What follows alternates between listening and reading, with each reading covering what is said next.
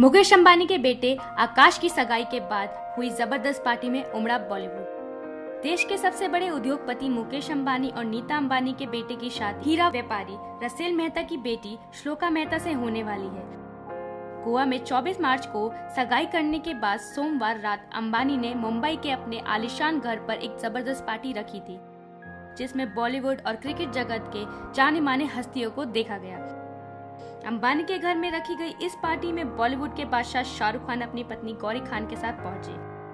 आप देख सकते हैं, पार्टी में Akash Ambani, navy blue suit में दिखे, जबकि मेटालिक गाउन श्लोका पे बेहद जच रहा था इस मौके पर देश के सबसे रईस बेटे और बहू को शुभकामनाएँ देने वालों का तांता लगा रहा।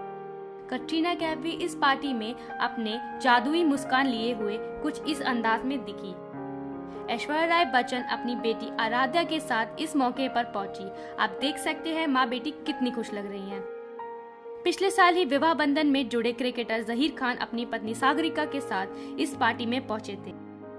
इन सब के अलावा करण जौहर, जॉन एब्राहम जैसे सितारे अंबानी के घर हुई इस स्पेशल पार्टी में पूरे टशन के साथ नज़र आए। एच न्यूज़ की रिपोर्ट।